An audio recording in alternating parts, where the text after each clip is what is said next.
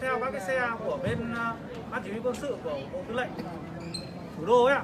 Họ đưa đi về cái cái, cái, cái nơi tập trung tập trung rồi. Và hiện giờ là các xe đang quay lại để đón các cái đoàn tiếp theo.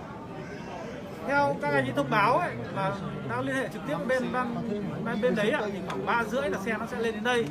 Cái việc này xin các anh chị thông cảm bởi vì cái xe đón ấy nó phải đảm bảo cả cái yếu tố mà người ta phải khử trùng hoặc là ấy nữa.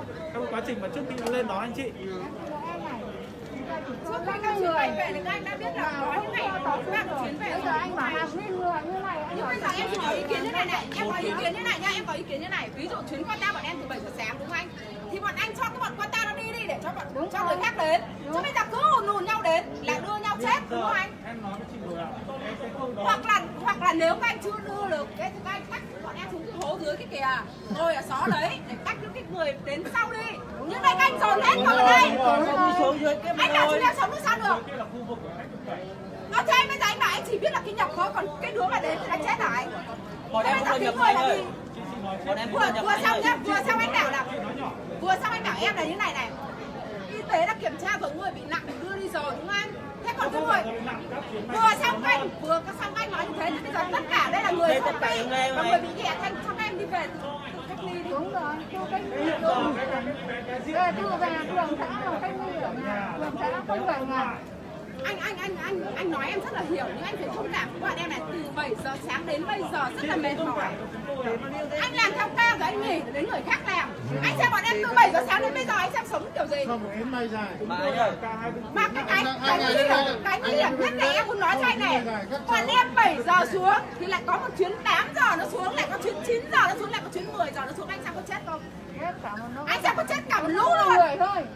bây giờ em chỉ có ý kiến như này này. Bây giờ anh làm sao? Anh làm ơn làm thuốc ấy sao bộ y tế.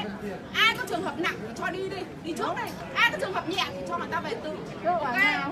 em em yêu cầu em phải yêu cầu những ý em muốn nói để cho tất cả mọi người đều được việc. Để cho nó giãn ra. chứ bây giờ anh xem cháu nhỏ nhá. Ăn không có ăn uống không có uống. Dĩ nhiên các anh có đưa nhưng mà chúng nó không ăn khẩu khẩu vị chúng nó vật vã chúng nó ốm. Chỉ vì ngột ngạt thôi bọn em cũng ngột ngạt. Anh xem cả một chuyến bay nhá. Quần áo không được thay cứ mặc như thế này thôi.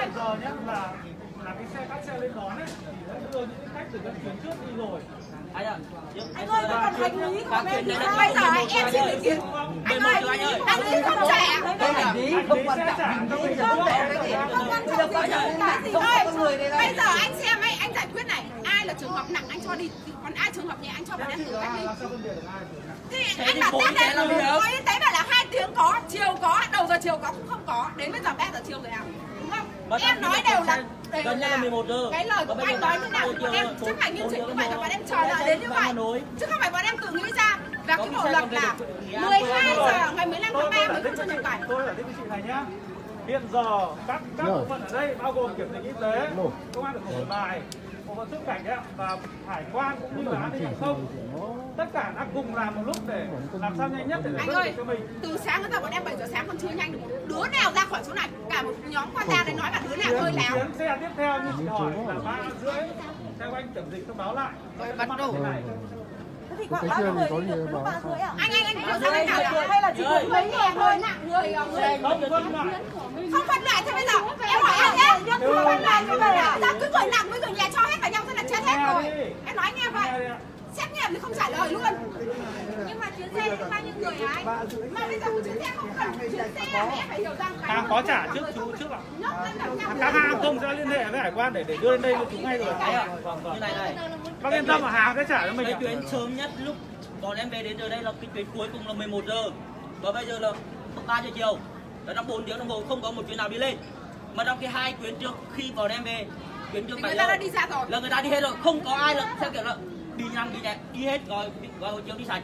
Chỉ có bọn em đứng lại đây từ lúc 7 giờ mà đến bây giờ. cho đi nhá. Mà không biết là người bị hay là người không bị xin chị thông cảm Anh, giờ. anh chung nói- là hiện giờ. anh chị phải hiểu anh chị phải hiểu cho Là tôi gọi, cái này. gọi người nặng người nhẹ đi. Nhưng mà người ta gọi hết luôn một lượt tất tất tất anh ơi người nặng hay là người nhẹ? Bây giờ giam chung với nhau bây giờ có phải bọn em còn không anh? có đây thì anh không để em người nặng người nhẹ giam chung một phòng không anh có vấn đề từ 7 giờ sáng đến bây giờ vẫn chưa có ai không em muốn nói với anh là bây giờ người nặng và người nhẹ bây giờ không thì phân biệt được. lắm đầu chúng em nào cũng phải làm khổ chúng em không? Bây giờ chị hay tôi đều không về anh ơi thế em test để làm gì? Thế thì nhốt chúng em mỗi đứa một góc ngồi chỗ nào đi. Chứ bây giờ bây giờ nhốt tập thể vào thì bọn em chết đầu tiên. Em nói thật. Chưa đâu mang đến đâu. Chị phải hiểu là anh phải hiểu rằng chuyến bay anh ơi không phải. đã bố trí. cái chuyến bay mà có 4 người hoặc 5 người bị thì là ok cả chuyến. Nhưng một chuyến bay của bọn em chưa có một hiện tượng nào. Thì tại sao bắt bọn em giam lẫn vào với nhau? Thế cái người vừa khi xuất xuống sân bay bị nhiễm của cái người chuyến trước chuyến sau xuống. Lây nhau. Thế có phải lây nhau chết không? diện cách ly tập trung hay cái Ôi là giời ơi. nhà là do y tế họ quyết định. Thế bây giờ không quyết định thì cho bọn em về thì bọn em ở đây vẫn chết cả giờ là mình đang chờ xe để lên đón mình về. Anh ơi. Ôi trời ơi nhưng mà trời. y, y tế nói là họ không liên quan. Bây họ giờ bọn em nói- không liên quan vấn đề gì cả. Anh xin lỗi xin lỗi xin lỗi anh nhầm với các bộ phận bác sĩ á. Bác sĩ họ lên đây để họ làm lấy anh ơi bệnh em bây giờ em chỉ nói mỗi cái nhỏ này này. Bây giờ cái người anh không phân biệt được các các các cái bộ phận ở đây đâu nên là cái việc thế thì anh ơi Anh đang làm chậm cái việc làm của các bộ phận ở đây. Thì anh anh một người có trách nhiệm lên trả lời cho mọi người cho mọi người yên tâm. Anh mời anh anh anh mời người có trách nhiệm lên để trả lời cho mọi người yên tâm anh. Tất cả mọi người đây. mình đang hỏi câu hỏi nào ạ đây đây là bây giờ bây giờ em đang muốn nhá. Em đang em muốn hỏi anh này.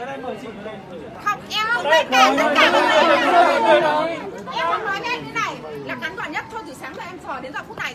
Không tính nữa. Mà em muốn nói này. Trong cái số 100 người qua ta của bọn em 99 người không bị.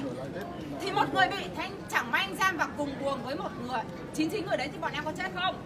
Ai chịu trách nhiệm? Anh trả lời câu đấy cho em thôi có cho hỏi có y tế rồi Vâng, vâng, vâng, cho anh mời có người có trách nhiệm. Anh Nam ở đây đã trả lời mình rồi đúng anh không? ơi anh anh bảo là anh không giải quyết anh không biết. Đầu tiên bọn em xuống sân bay từ 7 giờ sáng nhưng anh bảo em là chờ nhanh nhất là 2 tiếng. Mà chậm nhất là đầu giờ chiều. Như này à, tôi đề nghị anh này xin anh làm phúc anh là cho cho cho, Cho các cháu chúng tôi chúng em về đi. từ- từ- Tự nguyện cốc, đi. cốc sữa để cho nó uống để không sống để, nổi anh ạ. để cho nó cầm cự. Anh ạ? Không thể sống nổi. Vì mình là con người ép lực thế này làm sao sống nổi anh? Bây giờ nhá mọi người mà không có ý kiến như vậy nhá người ta sẽ giam chung lẫn lộn vào thì tất cả mọi người đều dịch giống như nhau hết. anh lấy chậm cho sữa này. Đi ra chậm cho sữa